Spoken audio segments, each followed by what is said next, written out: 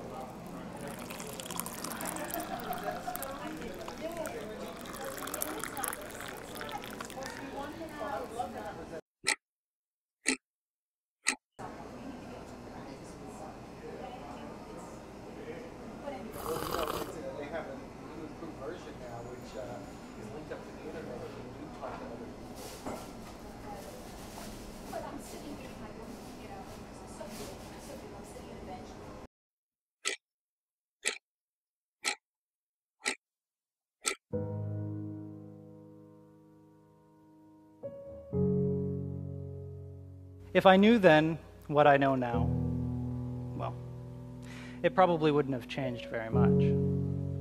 And it probably wouldn't have changed very much because sometimes it doesn't matter what you know, what you feel just takes over. I felt the blood begin to trickle down my hand.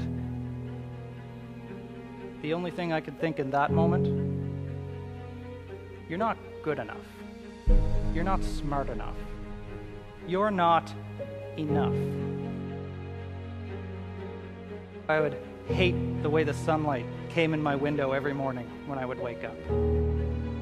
My mind was running, screaming, shaking, collapsing in on itself again. My perception had become constricted and darkened and collapsed. I felt like an asthmatic who had lost his glasses in a hurricane.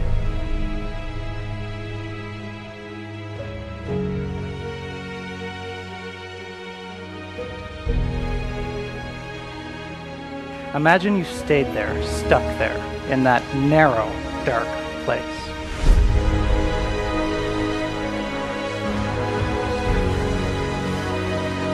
Maybe I wouldn't be here today.